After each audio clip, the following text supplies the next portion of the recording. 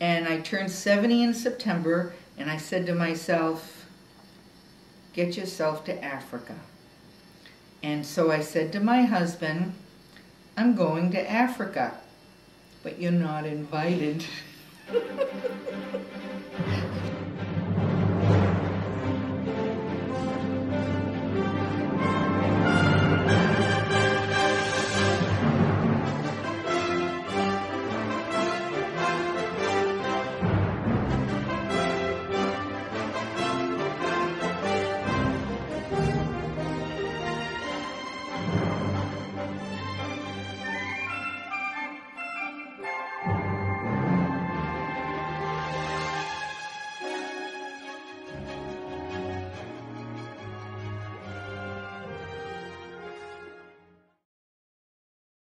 we all flew to Kilimanjaro and, and the Tauck tour picked us up.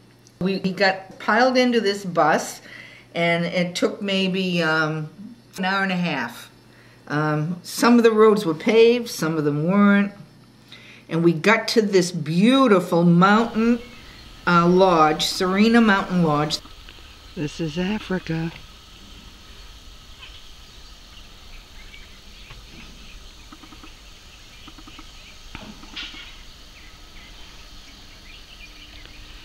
This is the Hotel Serena Lodge. These are all the rooms. This this is my um, little cottage, and that's my door. And they're they're called roundels, and, and they're made to look like uh, an African village, which a lot of Africans live in these roundels. And th these are the the banana trees. And Lord knows what this is. Oh, it's a banana. Look at the bananas. We're going to walk up towards the lodge, which is an old coffee plantation. This was a coffee plantation um, that the English owned, and this was the main house. So this this um, doesn't have rooms. It just has dining room, common rooms, things like that. Gift shop. Quite lodge. Must have been the main living room of the plantation. The front lawn, which is lovely, could sit out and have tea. The tea is delicious. I had it this morning. Just beautiful.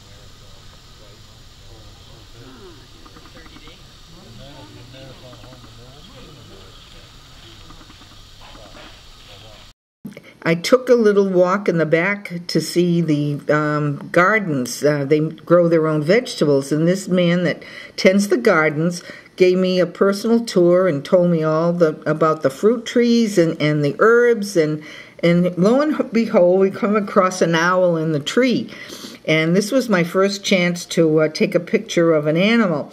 And I got so fumbly with the camera, I was afraid he was going to fly away. And, and um, he just sat there and looked back at me. And it was amazing because then, then his mate showed up. And the two of them just waited and waited till I could get organized with the camera. So the first day, um, we went out um, and came across this um, herd of elephants, which are all females. Um, the big mama, she, she chooses the path and everybody follows. But um, the males are kicked out when they're adolescent because they won't um, take direction. Um, these trees are stripped of their bark from the elephants. They find it very tasty and they like the shade too. Now this tree has been completely stripped and some kind of eagle is sitting up there. This is the Land Rover and I can see inside the driver. I know who he is. That's uh, His name is Norman. And here's some monkeys. Um, I think they're gibbons. Um, and two ostriches. On the left is the male and on the right is the female. You only see two at a time. They don't walk around in flocks. This is one of the drivers. This is um, Bosco. And Bosco was kind enough to take me one afternoon, just me, into Arusha. He gave me a personal tour of the city and um, uh, you know, we had a grand time. And then we went over to the cultural center, and I, I bought a lot of stuff hand carved animals, um, a painting, um, jewelry. I bought a lot of things. Now, this is my friend Norman. I wrote a lot with him. I think he requested me actually, because we were supposed to be mixed up with different drivers, and somehow Norman kept coming up. oh, and um, now this is Salim, and um, Salim's father was a young man. He was a Muslim man, Tanzanian, and he got um, Idi Amin grabbed him and um, made him come fight in the Congo. And there were such atrocities when he came back. He he um, converted to Christianity. He's my favorite. He is Alan, and uh, everybody loved Alan. And um, Alan took really good care of me.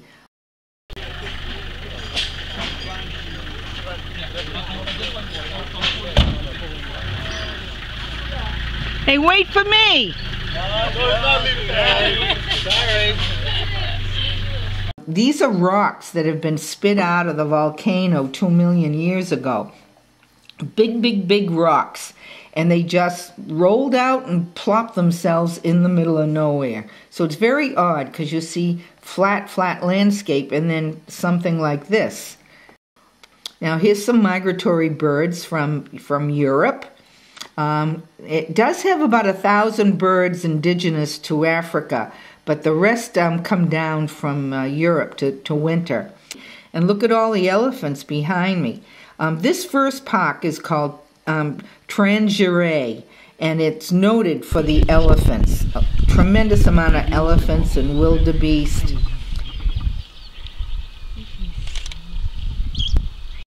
This is a candelabra tree. The, the leaves look just like a candle. They're thick like a candle and they all go upright. But you can see in the background how it's very grassy and trees just kind of pop up randomly. This is a dik-dik. They're very tiny. They're about the size of a um, um, toy Manchester Terrier. And um, they're harmless. Uh, they would come in and walk around the lodge and because there's no fences and animals can easily come in. This is uh, Kikoti. This is the uh, second lodge that we went to, and this is in the Tarangire National Park. Um, this is the main uh, common area, and this is the bar. And as you can see, there's all kinds of carvings um, along the outside of the bar. There are carvings everywhere. Africans do a lot of carvings. And this is the dining area. Uh, and you see my my friends in the front there. That's Ricardo and Lynn. He's a um, anesthesiologist from Columbus, Ohio.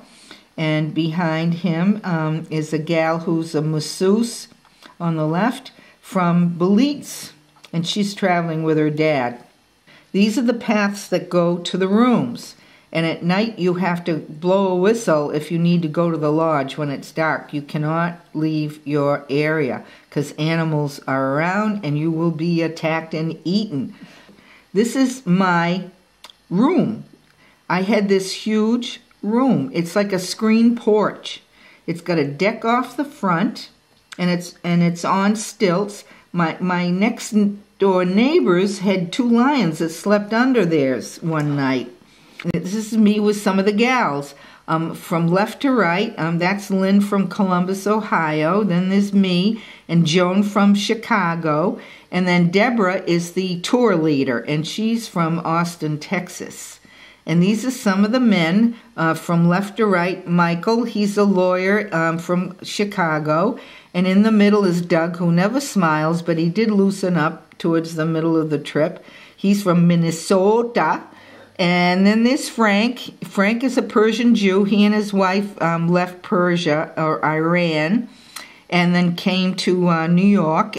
Um, on the left is Tilio. He's a retired uh, orthopedic surgeon, and his wife Suzanne. And then um, there's um, Vicky. Now, Vicky used to work um, for the embassies in um, and state departments in Europe for years. She was a teacher. And next to her is, is Farah. She, she's married to Frank, the, and they're both from um, Iran. Uh, Oh, look at him. He, you have to look for trees that have branches like this because those are the only trees the leopards or lions will sit in. And uh, sometimes the leaves were so um, camouflaging, you, all you saw was a speck of orange. But this guy was right out there, ready for us to take a picture. Now, the size of this tree is shown with, with um, Lynn and Ricardo standing there. It's like a zillion roots, and then they all grow together into this huge tree. Here we have uh, baboons that have decided to go down the road right in front of us. They come out of the bush and they're, they're trekking down the road, so we couldn't um, go more than two miles an hour. So um, there were little babies, and there was big old guys like this. He looks a little grouchy. And here's the hippos, and um, they're just coming out of the, the wet, uh, marshy area. Now, this picture is us going into um, another park called Ngorongoro National Park. Now we are in the a bowl of um, the a volcano created this, and we're in the bottom of the bowl. And the rim uh, that you see is about 800 feet high. And this is some wildebeest in the crater. There's 1.8 million wildebeest. There's more wildebeest than any animal. There's quite a few zebras, and they were having their babies at this time. Here we are at a school. Um, this is in the bush. Um, the, the, principal is describing um, some things, and they sang a song to us. Um, and uh, so I just went around the room and and um, took different pictures of what was going on, and then I'd show it to the kids. They got the biggest kick out of seeing themselves in the camera. they look like good kids. And they walk two, three, five miles to school. Some have to walk so far that they have a dormitory for them. They can actually stay over.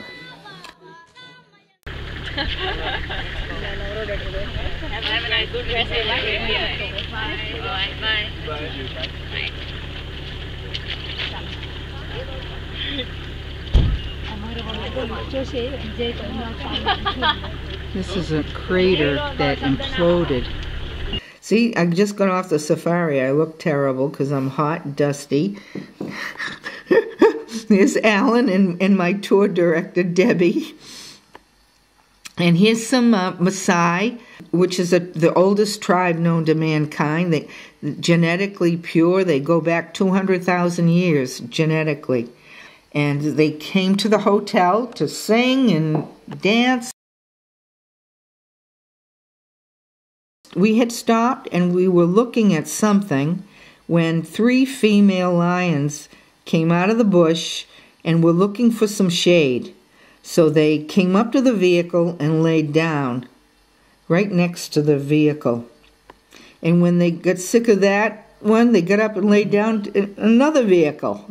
So they they were very democratic. They um, let it, all of us get good pictures, and um, woo, there's the border buffalo. He's looking right at us. Now this is the kind of terrain that you go through. These vehicles are awesome.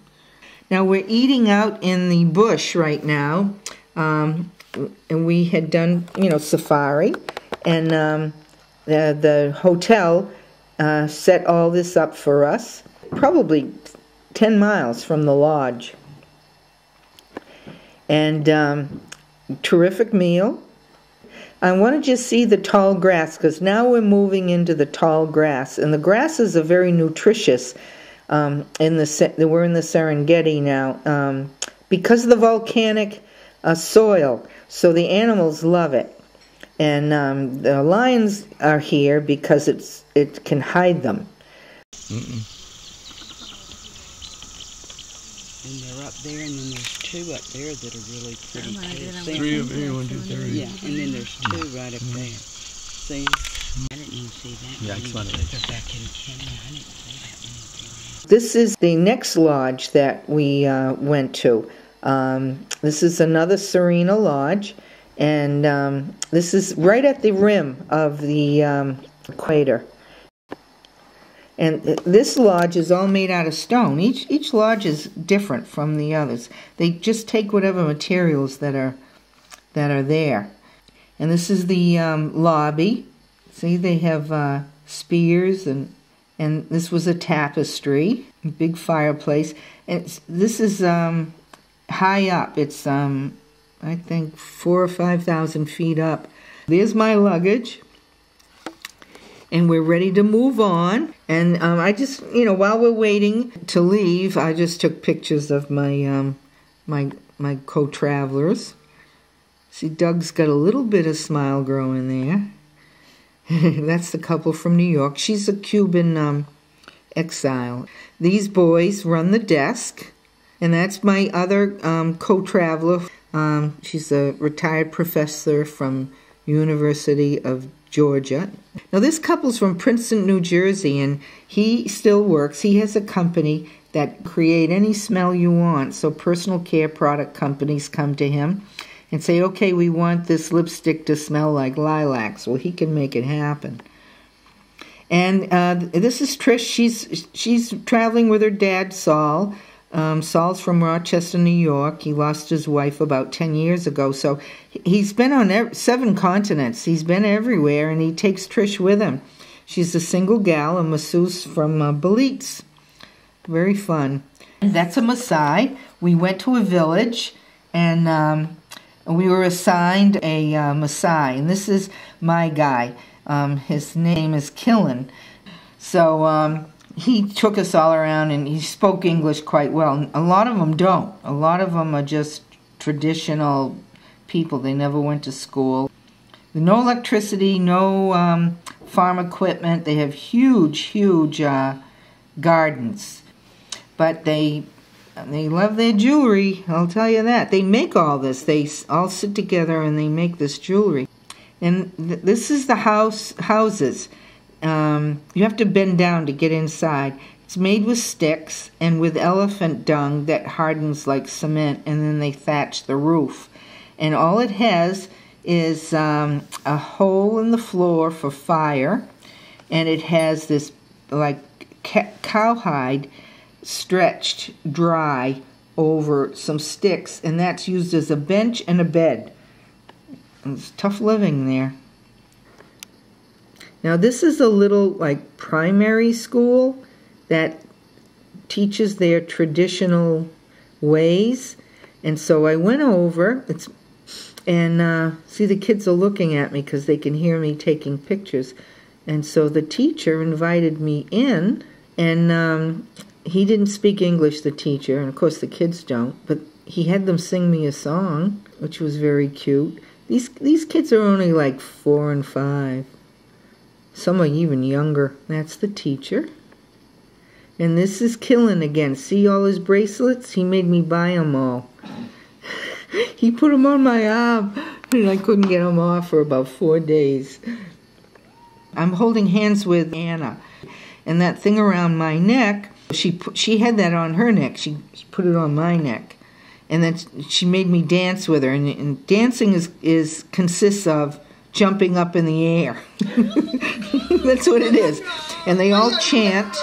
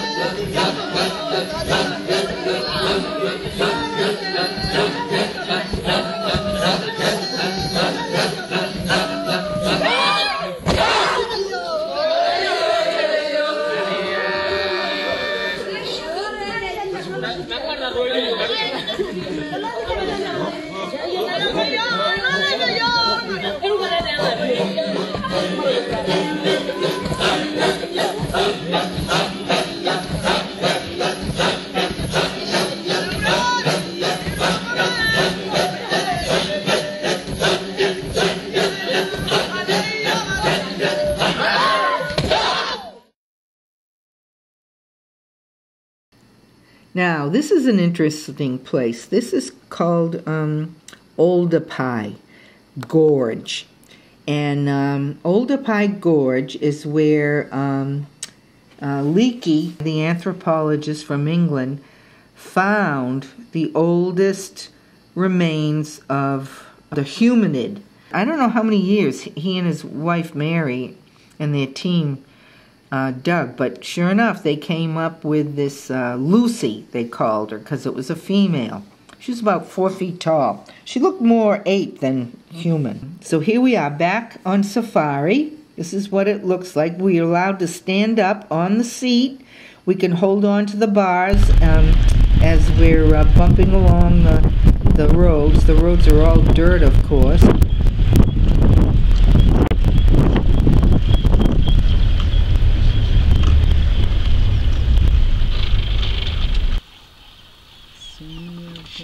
Yeah, they all decided to go and cross in front there. Twende shemeji. Ah, niko poa. Naangalia mikono. Now these these elephants um, came right up to the side of the road, and the big one in the front that's facing us didn't know if we were threatening or not because they wanted to cross the road and we were in the way. They see our vehicle as another animal, and the driver just put it in reverse, and we backed up real fast. So 4:30 in the morning, here we are. We're going to go on a balloon ride. For some reason I forgot why you have to do it early. Something to do with the air currents and the coolness. So we had 3 balloons. They blew them up.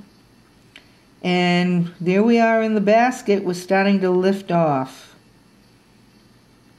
Was quite a thing. And our um, person who drove the balloon, he's a Canadian and he's a champion balloonist and he kept kept it nice and low so we could get good pictures.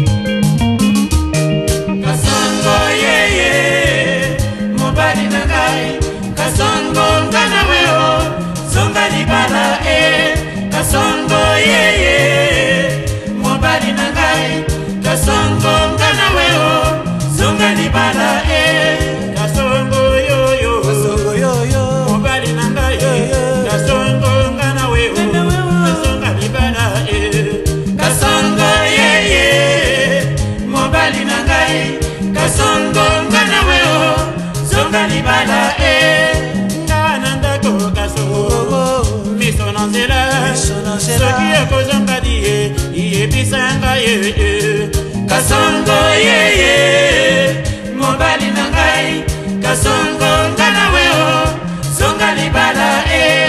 Libala na ndako kasongo batunaka ngai Batunaka ngai. tata azali wapi ye naloba nini ye kasongo yeye mobali na ngai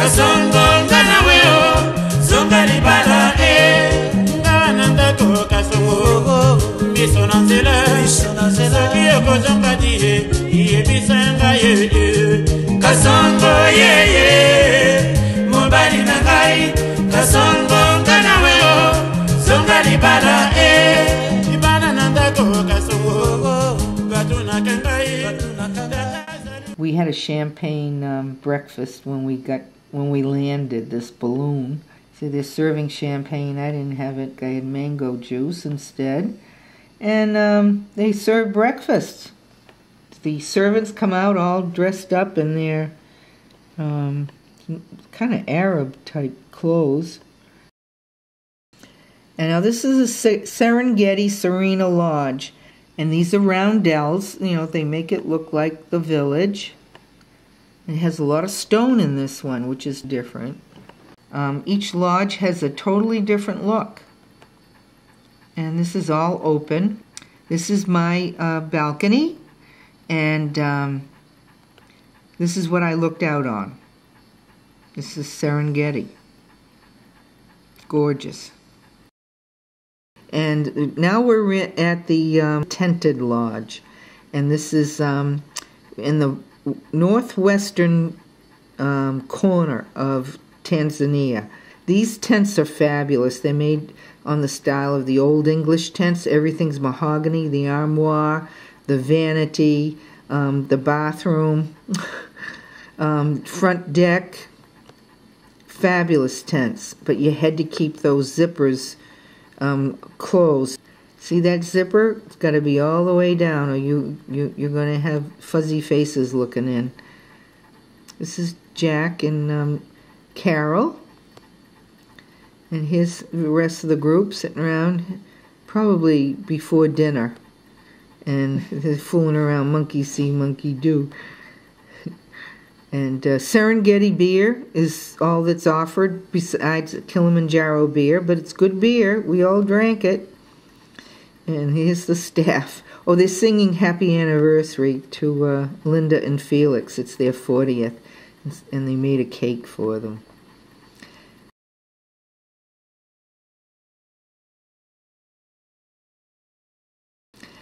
So back in safari, early morning, you can see the sun coming up. And this is a watering hole for the old hippos. They must all bump into each other because they're huge. And look how close their faces are. And look at that. Could walk across the water on their backs. These two guys are upset with one another, so they're having a little joust in the middle. But they've got antelopes and zebras and, and gazelles and, and warthogs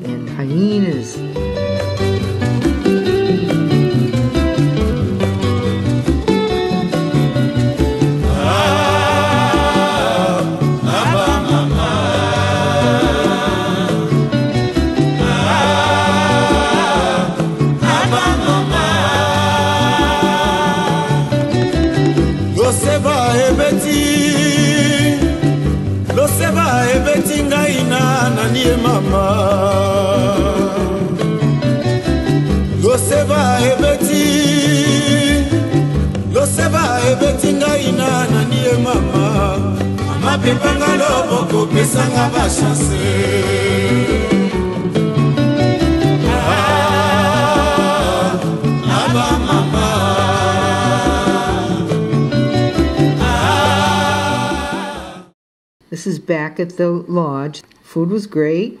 And, and these gals are great. They gave me their email and they want this picture, so I got to send it to them. And this is my lion. This is Leo. He was lying taking a nap by the side of the road. And um, I just clicked away and I got this one up close. And he was looking right at me. He made a big sneeze, and the one of the vehicles, the driver jammed it and flew off. they thought he was going to jump inside. uh, Trish and Saul. And there's Alan, the driver. We stopped, and they had uh, beer and champagne and cold drinks, just as a refreshment thing. But this is what the Serengeti looks like the golden grass, the dirt roads. Grasses were beautiful, I thought. Now we're leaving the area, and we're we're going to fly back to Arusha. And so um, we come into this little airport, Arusha Airport, and we get into this big plane, all of us. And this takes us to Zanzibar, which is an island off of Tanzania. And um, shows us coming off the plane and get on the bus. And uh, this fellow, he, he was going to um, bring us into um, uh, the, ne- the last hotel. And the last hotel is right on the Indian Ocean. And it's very Arabic. You can see it's all Arabic um, architecture. Everything's mahogany, everything's carved. It's very lovely. We looked right out onto the water, all our rooms. And this is the slave market. And they, it's just a museum now. But that's what they did. They chained them around their neck and around their legs and stuck them in a hole. The Stone Town is an old town, of course, and so it's all little alleys and caverns, and you could get lost so easily. These are called dhows. They're just little skulls, and um, they fish every day, and they catch it, and then they cook it at night. And they cook it barbecue style um, out in the parks. Um, every night, this food is presented, and it was caught that day and um, people come from all over and they eat. Now, this gal, her name is Sarah. Notice her sandals? Well, I noticed them and I complimented her on her sandals. She said she kicked one off and said, Try it on. So I put it on, it fit. She, she says, Here, take the other one, they're yours. Well, I went home with the shoes. What could I do? She made me take them. This is the last night it's a cocktail party out on the big patio. And uh, everybody is. See, I got all those Maasai bracelets on that I can't get off. And so we're taking pictures. You know, it's the last time we're going to be together, and we'll all be going home. But every, everybody's had a great time. And then up, up on the rooftop, we had dinner under the stars.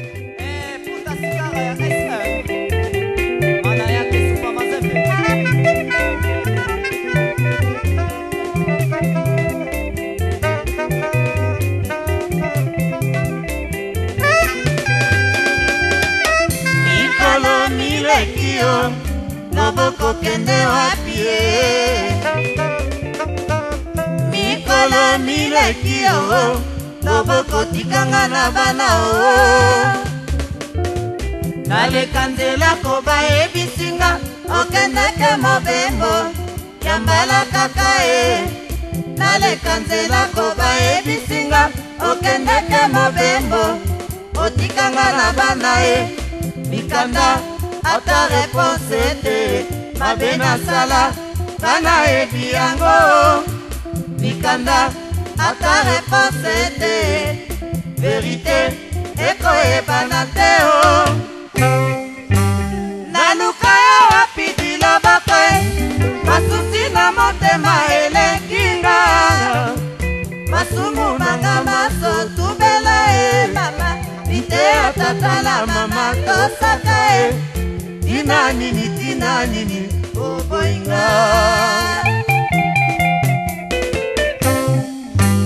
naluka yo wapi diloboko masusi na motema elekinga masumu nanga maso tubela e biteya tata na mama tosaka e. Tina nini tina nini oboyinga